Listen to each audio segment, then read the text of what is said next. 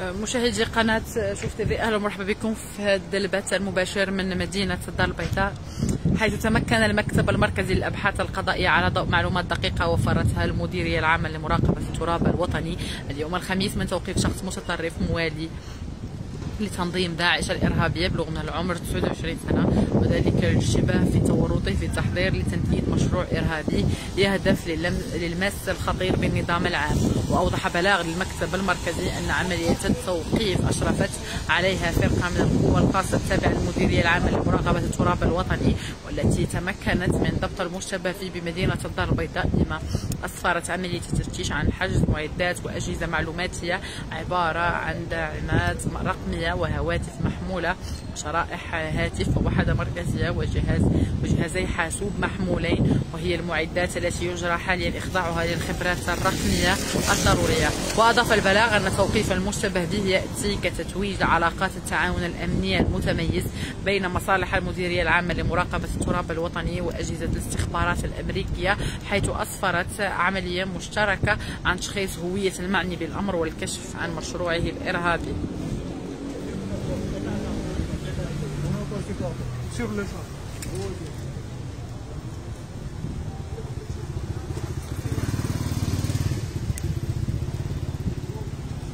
وأشار المصدر إلى أنه تم إيداع الشخص الموقوف تحت تدبير الحراسة النظرية رهن إشارة البحث الذي يجرى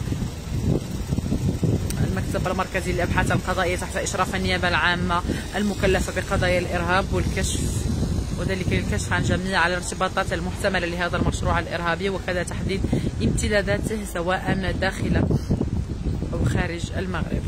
وخلص المصدر ذاته إلى أن هذه العملية الأمنية تؤكد مرة أخرى على أهمية وفعالية العمليات الرامية لتحييد مخاطر التهديد الإرهابي كما تبرز نجاحه أو نجاعة التعاون الثنائي الوثيق بين مصالح المديرية العامة لمراقبة التراب الوطني ومصالح الأمنية والاستخباراتية الأمريكية في مجال مكافحة الإرهاب والتطرف على الصعيد الوطني أو الدولي.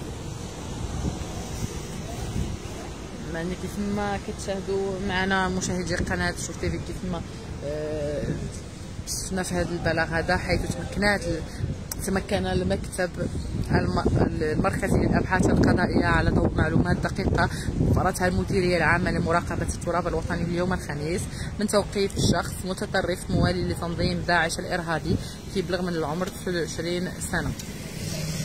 وذلك للشبه في تورطه في التحضير لتنفيذ مشروع إرهابي يهدف للمس الخطير بالنظام العام.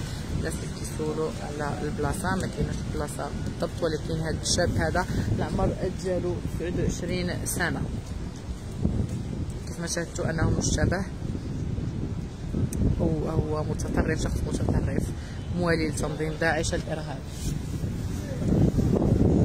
كنعرفوا أن هاد الأمور كتأذي الناس. وهذا الشيء آه، هذا كيعاقب عليه القانون.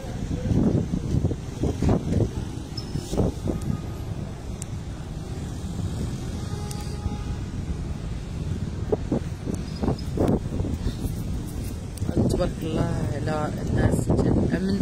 وكنشوفوا فيها تعليق ديال آه، شهادتكم العز والنصر للأجهزة الأمنية تحية للأمن الوطني. بطبيعه الحال تحية للأمن الوطني حيت هما اللي كيظهروا على الحماية ديال آه، ديال المواطنين وديال الشعب ديالنا